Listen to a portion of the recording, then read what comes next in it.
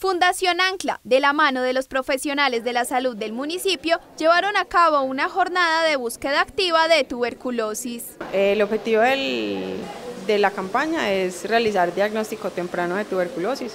Es una patología pulmonar que eh, pues es muy contagiosa y sin tratamiento puede, tener pues, secuelas considerables en la calidad de vida de los pacientes.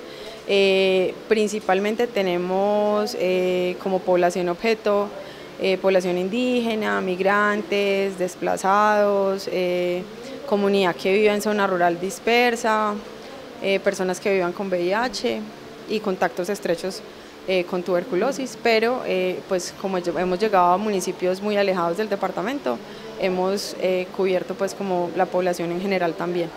Esto requirió un procedimiento no solo con el personal calificado, sino también con equipos óptimos para este tipo de pruebas. Nosotros contamos con un equipo eh, de rayos X portátil. Eh, inicialmente se le toma la radiografía al paciente que ingresa. Eh, ellos esperan el resultado de la radiografía. Contamos también con un software de inteligencia artificial que se llama CAT4TV que es específico para diagnóstico de tuberculosis. También contamos con una prueba que se llama TruNat, que es una prueba molecular para diagnóstico de tuberculosis. Es una prueba portátil.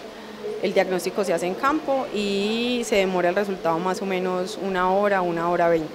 Fueron un total de 108 pacientes atendidos, un gran avance para evitar muertes a raíz de esta enfermedad infectocontagiosa que tiene su presencia en zona rural dispersa donde actualmente hay cuatro casos activos.